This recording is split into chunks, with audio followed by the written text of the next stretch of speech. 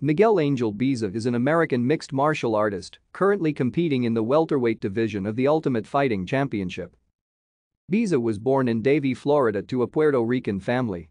Baeza grew up a boxing fan and he lists Felix Trinidad as one of his all-time favorites. Baeza first dabbled in mixed martial arts in 2011 as an amateur, compiling a record of 4-0 before turning professional in 2015. Baeza holds a Brazilian Jiu-Jitsu black belt. After going 6-0 on the regional circuit, Baeza was invited to compete on Dana White's Contender Series 18. He faced Victor Reyna and won the bout via unanimous decision, a victory that earned him a UFC contract. Baeza made his UFC debut at UFC Fight Night 161 on October 12, 2019, facing Hector Aldana. Baeza was victorious via second-round technical knockout. Baeza then faced veteran Matt Brown on May 16, 2020 at UFC on ESPN 8.